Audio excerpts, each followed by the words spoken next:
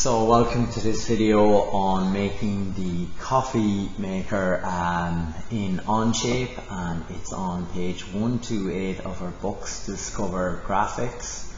Okay, so this is what we're going to make here and the things we're going to learn while doing it um, after you've probably been doing internal tangents and external tangents. Okay, that's probably the topic with your teacher at this stage.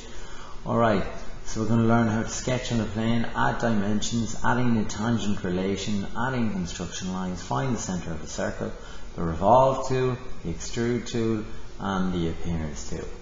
Right, so we'll begin.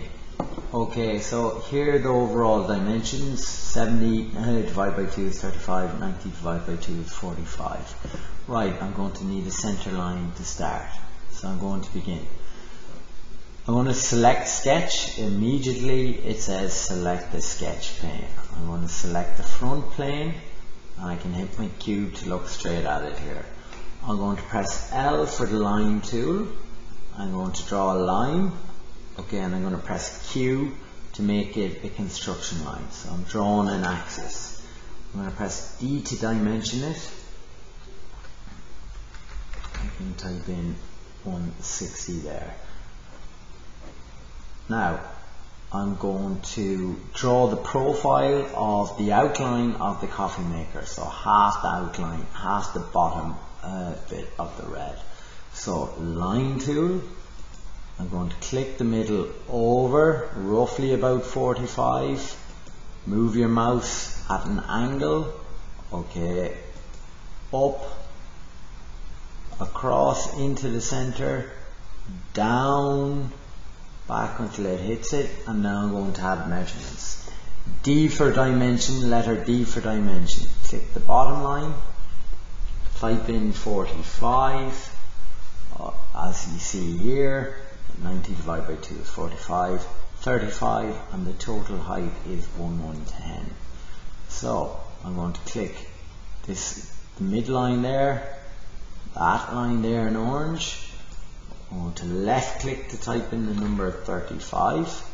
I'm going to click this point here with the left click button on my mouse, left click the bottom. I'm going to type in 10 and then I need to left click Okay, this line here at the top, down, left click the bottom, I want to type in 1110. Now, I'm going to go to revolve and make this into the base. So I'm going to tick my, uh, select my revolve axis and I'm going to tick that one. It picks up this here. If it doesn't pick it up, it's probably because there's overlapping lines in your sketch or there's a gap. I'm going to tick OK. I'm going to rename that. So I renamed the feature and I renamed the part at the bottom. Now I'm going to focus on this part here. It's 20 high, 35 wide. Okay, so I have to go sketch, select the sketch plane, the front, and press Q there to look at it in 3D. I'm going to press L for line, uh, L for line, so I drew it in, I'm going to tick that, press Q to make it a light line, D for dimension, I'm going to make it 25, and it just disappeared there on me because, okay, it, I was too far that was a good learning outcome there. So I zoomed out there. So 25 I said it was.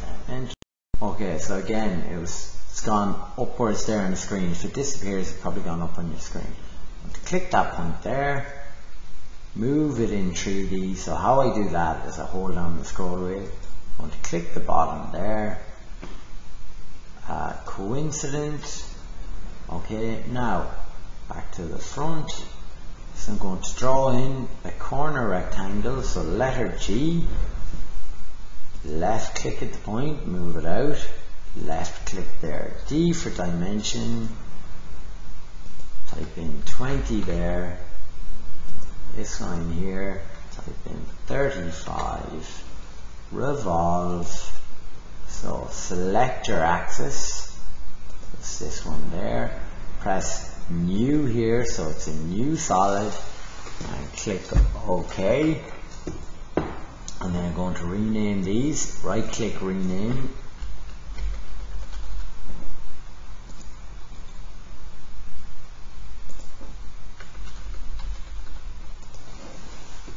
Now I'm going to do the top of it now. Okay, so the lid, and we're going to integrate something from circles here, how to find the center of a circle. Uh, when given the radius and two points are given two points on the ends of a chord. So I'm going to click sketch, select the plane, front plane, line, so L for line, and you can press the letter Q while it's drawn, make sure it's going straight up Okay, I can press L to turn it off click that point. Uh, press that on the fix there. Uh, that just saves you having to add in the dimension. Now I'm going to um, select a point here. So one, two, drew them out in the area. Turn off the point tool by pressing escape. And click the point and the line and select coincidence so that points, puts the point on the line. I'm going to click the point, the second point and the circle and press coincident or sorry I meant to press pierce there so I'm going to do it again. Click the point and the curve okay and I'm going to press pierce so now they're on together. Go back to front there. D for dimension so it's 15 now I'm going to press L for line. So I'm going to press Q for construction. So there's a chord on the circle. I'm going to draw another line now. So it has to be from the middle. And I'm going to draw it nice and far. I'm going to turn it off by pressing L. I'm going to click the point there and the center line. And I'm going to press coincident.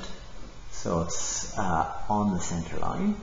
Now I'm going to click uh, the bisector. That is a bisector of a chord. I'm going to click that chord there. Okay, and I am going to select perpendicular. Now, there is the center point of the circle. So C for circle. Okay, I can draw it out there. L for line. So I've cordoned off my area. M for uh, trim, trim away lines. Okay, and then revolve. So select your revolve axis because it knows it there. New part, click OK, rename them. So I've renamed them. Now I'm going to do the little sphere at the top, little uh, knob on the plunger. So I'm going to go sketch, select a plane to draw on, front plane, press that button there to look straight at it. Use the scroll wheel on your mouse to zoom out and in. Okay, line, uh, Q to make it a light line. So it doesn't matter how far it goes up. Okay, and to save me having to dimension it, I can click that point and press fix. Make sure it's straight up, so make sure it has that there vertical. If it doesn't, click it press that button there. Now, C for circle. So I'm going to draw the circle there. Okay, it has to be uh, touching that there, so it's uh, radius 10 and 15 is 25 okay from the bottom there all the way from the bottom uh, is 1110 130 145 okay I'm still learning this myself so I don't know all the relations yet. D for dimension. Click the uh, click the point there. So that'll come up if you've done it twice or click the same point twice. So D click that point. And the bottom type in 145 or sorry uh, 1 5 5. I mentioned there 20 now line. So we're going to join these together. M for using the scissors for trim. Cut away that part there. Revolve. Select that axis. And tick OK. We'll rename that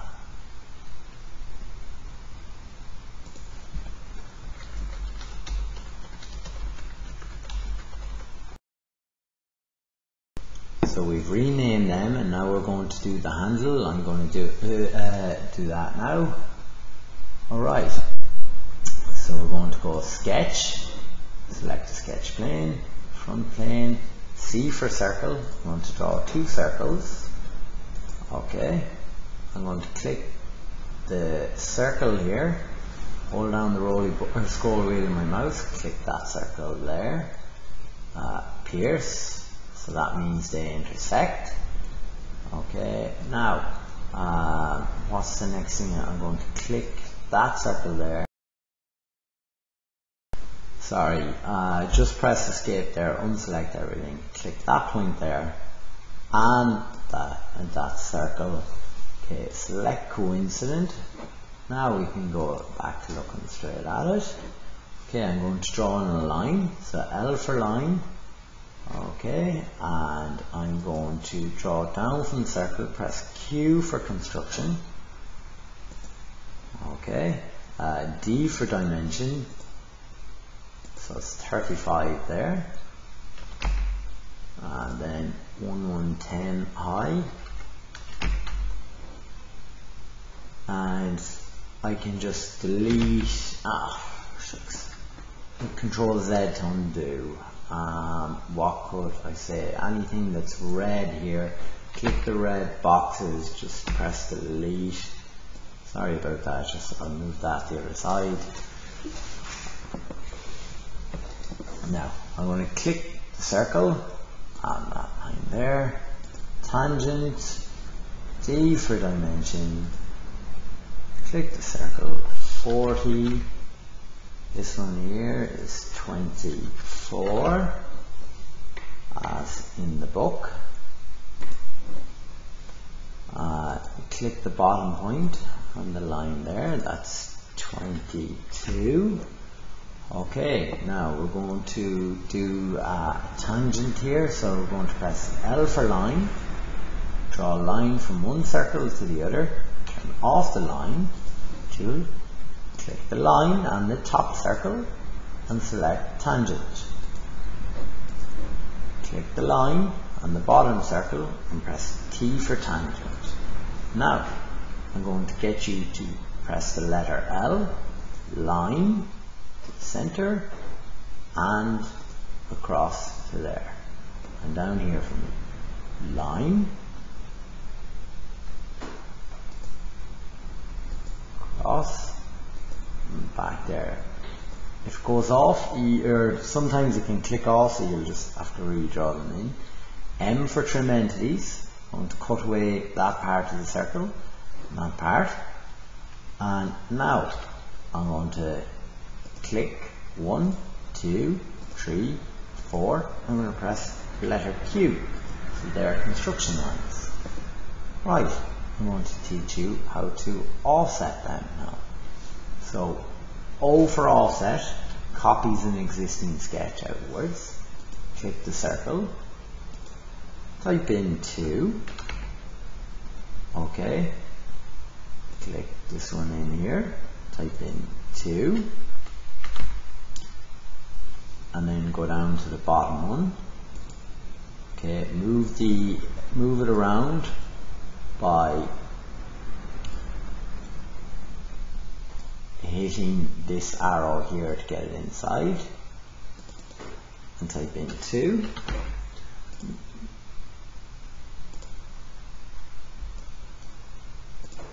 okay now uh, press escape to turn off offset. Now you notice there's some blue points here so I just need to hold on to those blue points and just drag them out a little bit. To do and drag them on because offsets are just parallel distances okay or, or perpendicular distances rather. They don't know where exactly they're going going just yet it's been very difficult to select. Okay so I'm going to trim away press the letter M to cut away things cut away those lines. Cut away that. I'm going to M again. So in a moment's time, sorry, so line, draw a line from there to there, M to cut away that. And now I just have to focus on getting this blue dot away. I want to have everything black. So line,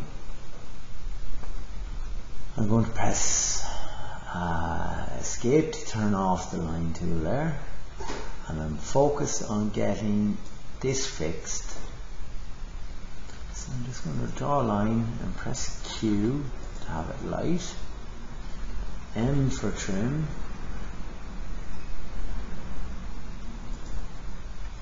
Uh, control Z I'm not going to do that so well, truth be told, I don't really know what's wrong there. So I don't. I got it sorted. Alright, so we're going to make this into 3D. So extrude. And we're going to have it going two ways. The distance we're going to have is 5. Second end position, 5 and we're going to make sure that it's new so it'll be a new part there. Click OK. And now I'm going to combine the handle and the glass here. So I'm going to type in under search tools composite composite part so it joins them together. One two and click OK. Alright and now we have these together. Right. I'll rename the so finally what I'm going to do is show you how to change the appearance system. So I can press appearance panel, I can go to the bottom, click this add face appearance. So we're going to go with red. So I can click that face, it's red on the bottom. And then when I'm done, I'm going to tick OK. Now, I can click the glass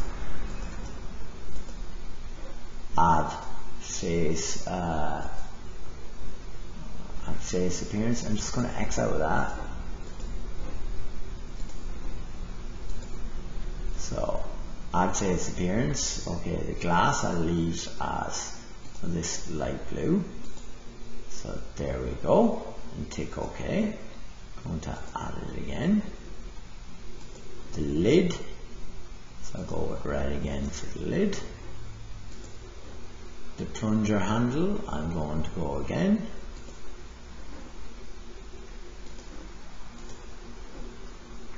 Click OK. And then the part okay the handle. I'm going to go this one here and I'm going to make it purple for the crack. So our faces so you can select them if you hold down your mouse, left click and drag, you can select a lot in one go. So I'll just make sure I colour them all in. And that'll be that done. Cheers, thank you, bye bye.